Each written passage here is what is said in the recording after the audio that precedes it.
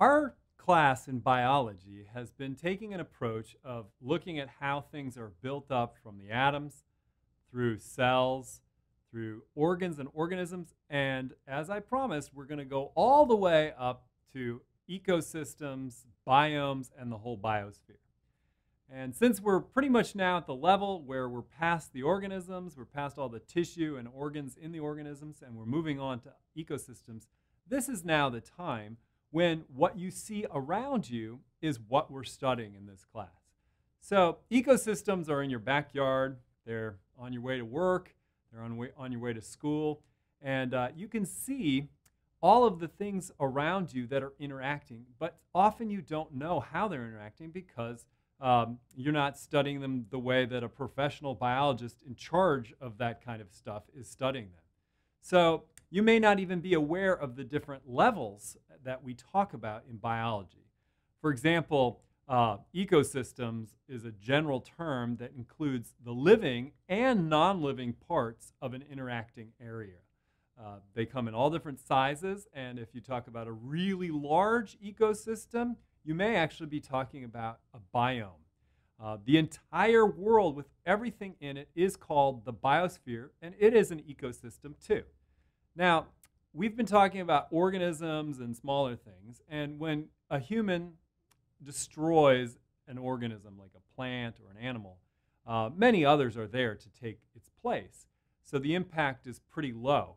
But if we kill an entire species, that's called making it go extinct, there's really no going back um, because there's nothing to replace those animals. There's, there's no way, except for like we were talking about with Jurassic Park, to bring back from the dead an extinct species. Uh, now, when we disrupt an ecosystem, it is also difficult to go back because that ecosystem is tied to a specific location on the planet Earth. And if you can imagine the globe and just deleting one little part of that globe, there's really no, there's no way to put it back. Uh, for example, you can try uh, when Canadian geese were completely wiped out in certain regions due to overhunting uh, people decided let's try to put the geese back. We have geese other places. We haven't made the entire species go extinct. So let's put them back in those little locations that have been destroyed. The problem there is that Canadian geese need to learn from their parents how to migrate. So the geese went back, but they didn't know how to migrate uh, for the south to the south in the winter and come back to the north. And so they just stayed there, and it changed the whole ecosystem because they were there all year round.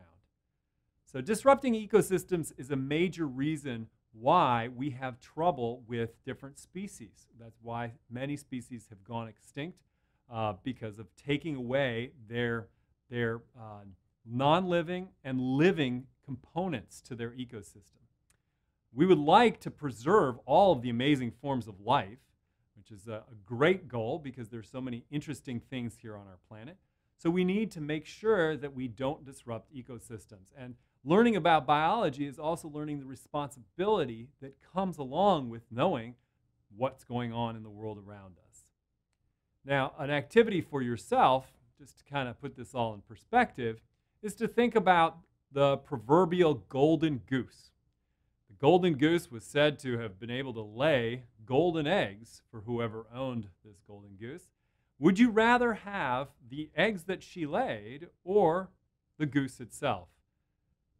Well, that's always the easy choice. You'd rather have the golden goose because then from then on you can always have those wonderful golden eggs.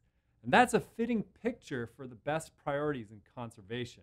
We don't know always the best way to take care of our environment, but if we think about what it is that's producing the good things, the golden eggs for each ecosystem, we can really focus in on what's important. A story that illustrates uh, some of the dangers of trying to protect ecosystems, protect uh, species, is an example of a um, toad tunnel in Davis, California.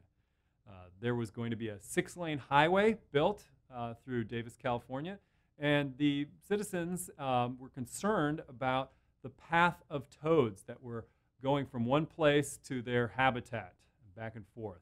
Um, so, at the cost of $14,000, the city of Davis put in a tunnel underneath the six lane highway so that the toads could migrate uh, through those, that tunnel. Unfortunately, the, the tunnels were never used by toads. Uh, they continued to hop on the road and get squished. Um, and um, ideas were floated around as to how to improve this, maybe put some lighting in there uh, so that the toads wouldn't be afraid or, or whatnot. And it turns out that that made the problem worse. Some of the toads were actually cooked by the heat of the lamps. Um, and it was, it was just overall not successful. It's just a tiny example, but it illustrates how our ideas of protection don't always work. And in fact, we need to know a lot more than we know right now about biology so that we can learn how to protect the environment around us and the ecosystems that animals and plants have to use.